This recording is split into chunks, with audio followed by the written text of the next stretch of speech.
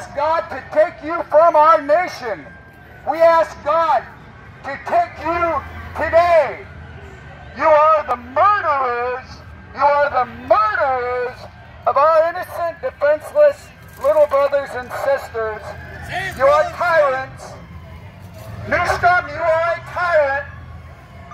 Pelosi, your aunt, she is a tyrant, a mass murderer, another excommunicated Catholic. I say that as a Catholic, Joe Biden, excommunicated Catholic, mass murderer, murder of the unborn, no different, less evil than Mao, Stalin, Hitler. We reject you